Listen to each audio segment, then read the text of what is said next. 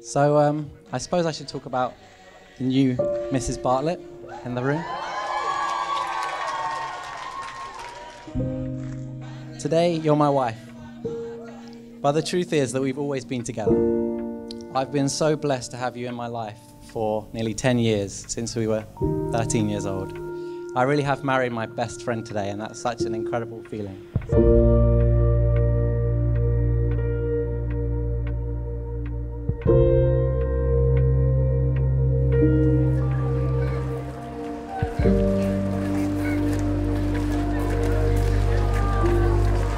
When we announced our engagement at around 20 years old, we had some mixed reactions.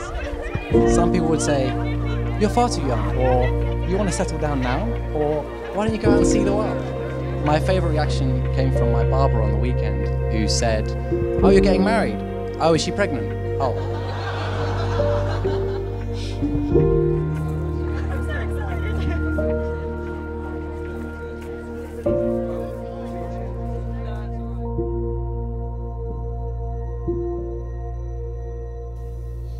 Since I was 13, uh, Kay's been the real constant in my life. From the first day of secondary school when the wonderful Catherine Kane sat us next to each other, um, to that awkward first dance at prom, where we sort of stepped on each other's toes and moved around.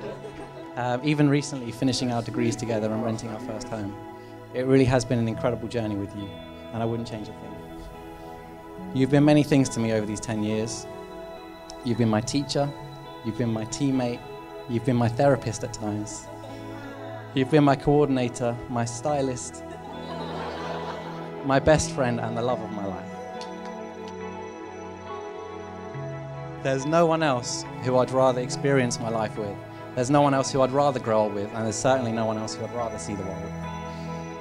And if I'm honest with myself, no one will quite understand my strange habits or strange sense of humor like you. So. I think it's easy to assume that we've outgrown our year eight crushes on each other, but when you look as beautiful as you do today, you still give me butterflies in my stomach.